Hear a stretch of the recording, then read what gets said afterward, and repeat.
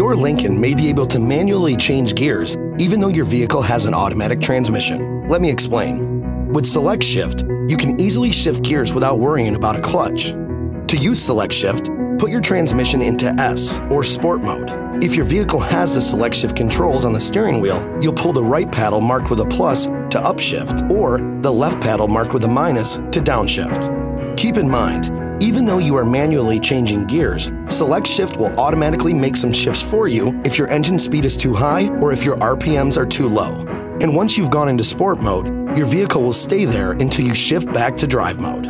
Compared to a 4 or 5 speed, the 6-speed select shift transmission gives you greater acceleration from a dead stop in first and second gear, while higher gears give you better efficiency with lower RPMs at highway speeds. We hope we've answered your questions.